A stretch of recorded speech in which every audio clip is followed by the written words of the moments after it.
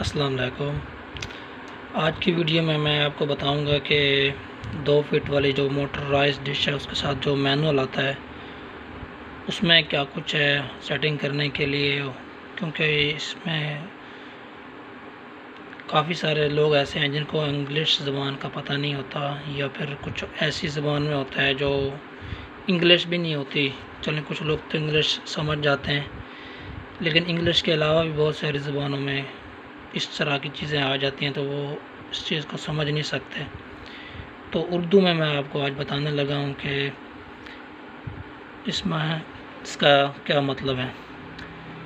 तो सबसे ऊपर ये जो देख लें, इनके नीचे मॉडल लिखे हुए हैं ये, और ये है इसकी स्पीड के हिसाब से, ठीक है। और ये मेरा जो इसमें स्पीडी प्रो है, इस मैनुअल को देखें ज़रा तो ये देखें। तो इसकी जो जो साइज़ है ना डिश का 120 120 सेंटीमीटर 120 सेंटीमीटर तकरीबन 48 इंच बनते हैं तो चार फीट की डिश को ये मूव कर सकती है। इसके अलावा आगे दूसरे पेज पे आ जाएँ तो ये देखें। इसका बाकी सारा सामान इस तरह फिट करना है। फ़ोटो से आपको समझ आ रही है। मोटर को ज़ीरो पे सेट करना होगा, ठीक है। इसके बाद ये देखें यहाँ पे, माउंट को ऊपर वाली सतह से भी ज़ीरो लेवल पे करना है, ठीक है। और ये फ्रंट साइड से भी और इसी तरह साइडों से भी ज़ीरो करना है। पिछली तरफ़ जो माउंट का पिछला हिस्सा होता है, या पिछला जो यूँ समझ लें पिछले साइड पे जो लेवल होता है उसका इधर ज़िक्र नहीं है। ऑलमोस्ट अगर आप पिछली साइड पे भी सेट करने की कोशिश करते हैं तो मुझे ऐसा मैंने देखा है कि फ्रंट का जो लेवल है ना, वो ख़राब हो जाता है। तो आप फ्रंट के लेवल को ही सही रखें बैक लेवल की आप फ़िक्र ना करें, उसके बगैर भी वो बिल्कुल सही चलती है। ये बाकी माउंट का सेट ये गाइड है, कैसे उसको करना है। यहाँ पे भी आप फिट कर सकते हैं। मैंने इस मैनुअल को पढ़ने से पहले मेरे पास कुछ एप्लीकेशन थी तो मैंने उसको इनकी कैप्चर करके ना वहाँ से मैंने इसको ट्रांसलेट करके पढ़ लिया है। तो इसीलिए मैं आपको, अब आप क्या हो सोच रहे होंगे, हो सकता है कि इसमें तो ज़ुबान, ये फ़ारसी ज़ुबान में है। ये मैं, मुझे भी समझ नहीं आती थी, लेकिन मैंने इसका ट्रांसलेशन लिया है, तभी मैंने आपको ये गाइड करना। ये है हमारे शहर के मुताबिक जो जीपीएस सिस्टम की जो वैल्यू है लेटीट्यूड वैल्यू वो है। आपने किताबों में पढ़ा होगा, अर्ज़ जो है ना, ज़मीन के, तूल और अर्ज़ के जो वैल्यू होती है ना, वो इस, यहाँ पे अपने शहर के मुताबिक, ये नेट से मिल जाती है, आप अपने शहर की वैल्यू वहीं से निकाल सकते हैं। ठीक है। और इसके बाद यहाँ पे आ रहा है कि ये माउंट का, ये मोटर को ज़ीरो करने के बाद और डिश को भी आपने जब लगाना है मोटर पर फिट करना है, उस वक्त उसकी जो वैल्यू है वो ज़ीरो हो चुकी हो, मोटर ज़ीरो पे सेट हो। फिर उसका जो है ना, ये एक लाइन में होनी चाहिए ये चीज़ें, ठीक है?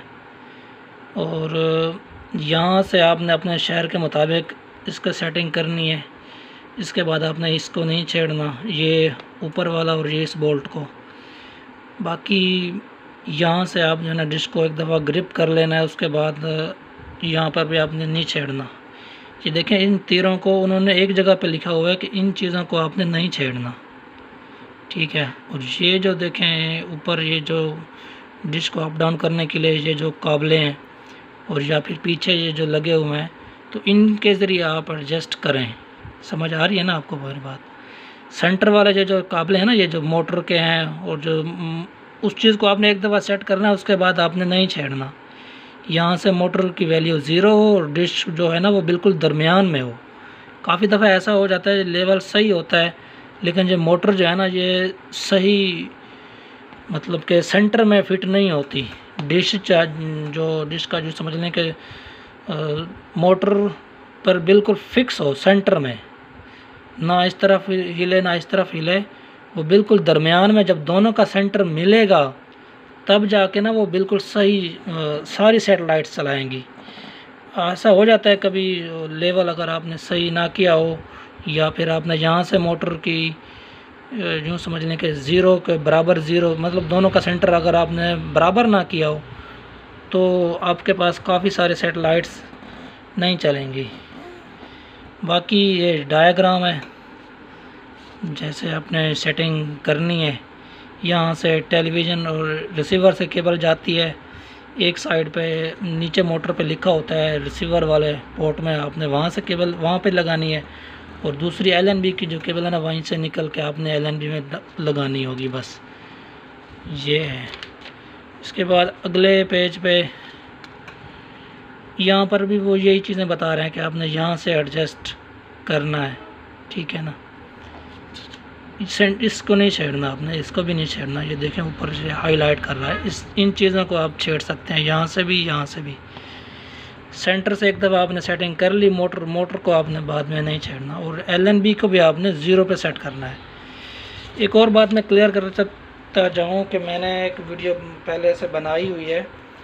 तो अक्सर लोग पूछते हैं कि उसमें मतलब पहली सेटेलाइट हम कौन सी लगाएँ? तो पहली सेटेलाइट वो लगाएँ जो आपके ना सूरज जिस वक्त आपके पास 12 बजे होता है, या उससे मतलब आधा घंटा आगे पीछे भी हो सकता है। वो इसलिए मैं कह रहा हूँ क्योंकि जब आप डिश लगा रहे होते हैं ना तो आपको काबले टाइट करने होते हैं, ढीले करने होते हैं सेटिंग एडजस्ट कर रहे होते हैं तो अगर आप घूमी हुई डिश को ये काम करेंगे ना, उसके साथ काबले टाइट करेंगे या लूज़ करेंगे तो वो आपको तंग करेंगे। ठीक है ना? सेंटर में जब सीधी खड़ी होगी ना डिश तो दोनों तरफ़ आपको बराबर जगह मिल रही होगी। आप वहाँ से भी लगा सकते हैं, वहाँ से भी। और जो देसी, पुराने जो डिश है ना, वो बड़े डिश, मोटर वाल तो उस पर लोग समझते हैं कि शायद उसका भी ये सिस्टम है, जैसे पहले आप 68 या फिर 70 डिग्री लगाएँ, उसके बाद आप साइड पे मोटर को घुमाते जाएँ, जब आपके सेटेलाइट इर्द गिर्द की मतलब कवर ऐसा ऐसा करते जाएँ।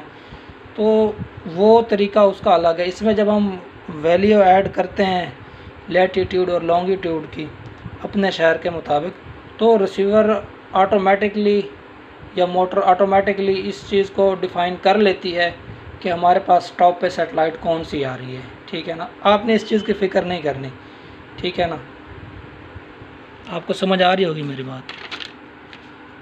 तो अगर आपको समझ ना भी आए, तब भी आप मुझसे कॉल वगैरह करके पूछ सकते हैं। बाकी इस मोटर के अंदर ऐसा कुछ, हमारे वैसे ये रिसीवर के अंदर की सेटिंग है। ये आलमोस्ट हर रिसीवर की थोड़ी बहुत ही मुख्तलिफ़ होती है। बहरहाल मिलती जुलती एक जैसी होती हैं। थोड़ा सा फ़र्क होता है बस। ये अंदर के उसमें उसमें क्या कुछ है? ये वैसे उन्होंने अच्छा किया इसमें, बता दिया। काफ़ी टेक्नीशियन जो रिपेयर करने वाले होते हैं, उनको इसमें काफ़ी हेल्पफुल चीज़ें हैं। ये देखें यहाँ पे अब वो लेटीट्यूड वैल्यू हर इलाके के हिसाब से उन्होंने, शहर के मुताबिक बल्कि दी हुई हैं। ठीक है। बाकी इसमें आगे वो मैंने देखे हैं, वो टी पीज़ वगैरह हैं। ठीक है ना? इसमें जो गरारी वगैरह का ये जो सिस्टम है सारा इसके अंदर और ये इसके अंदर जो इसका सॉफ्टवेयर आईसी है P ROM I C E P ROM उसका नंबर वगैरह भी दिया हुआ है, ठीक है। तो ये चीज़ें जब ख़राब हो चुकी होती हैं, तब मुझे बाकी बहुत हेल्पफुल हो सकती हैं। इसके अंदर क्या कुछ होता है, ये सब कुछ इधर आप देख रहे हैं।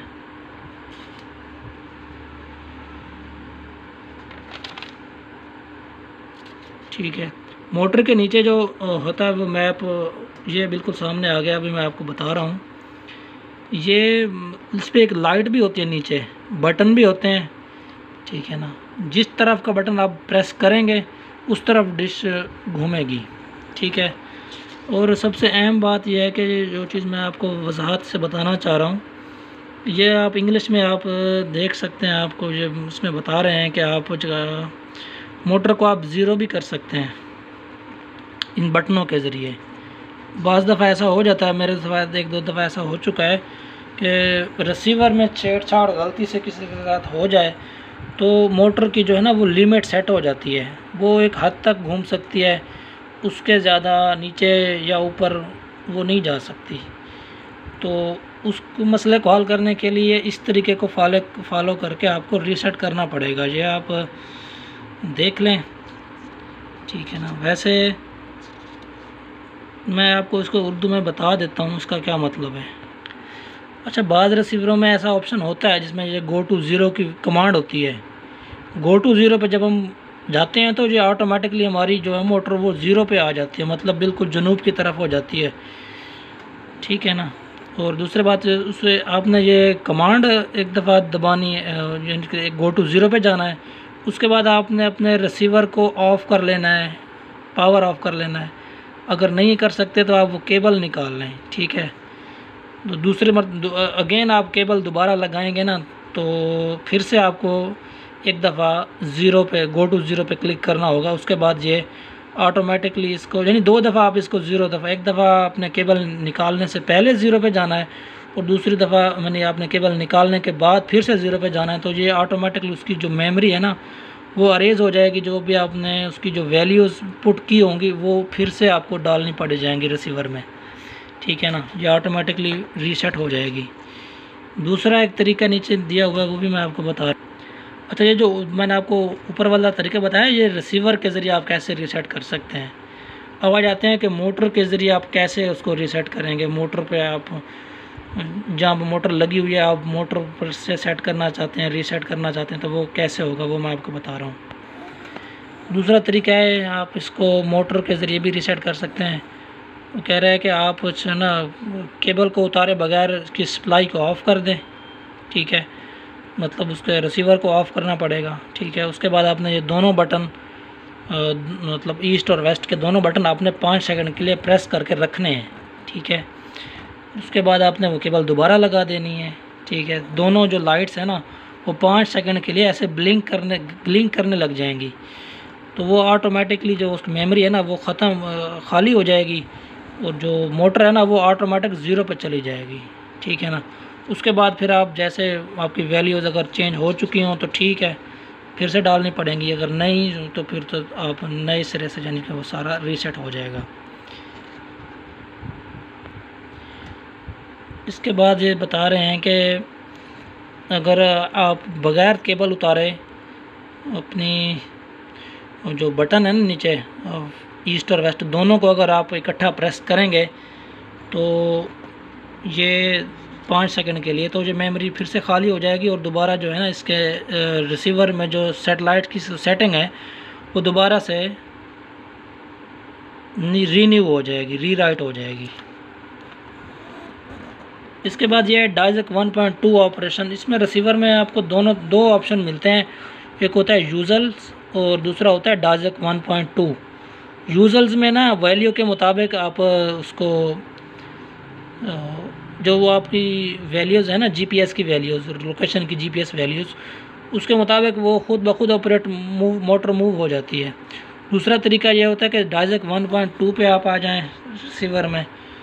तो उसको आप फिर नीचे बटन उसमें रिमोट के ज़रिए भी होते हैं ऑप्शन तो वहाँ से आप उसको राइट या लेफ़्ट अपनी मर्ज़ी से मूव कर सकते हैं।